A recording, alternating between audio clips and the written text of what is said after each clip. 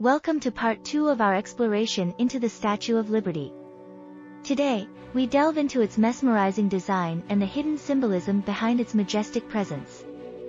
The Statue of Liberty, a gift from France to the United States, was designed by French sculptor Frédéric Auguste Bartholdi. The statue's face was modeled after Bartholdi's mother, while the body was inspired by the Roman goddess of freedom, Libertas. The seven spikes on the crown represent the seven continents, symbolizing the universal concept of liberty spreading across the world.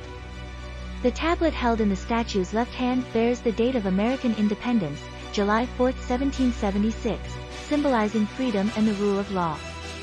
The broken chains at the statue's feet represent the abolition of slavery and the triumph of freedom over oppression. The torch held high in the statue's right hand symbolizes enlightenment and the guiding light of liberty.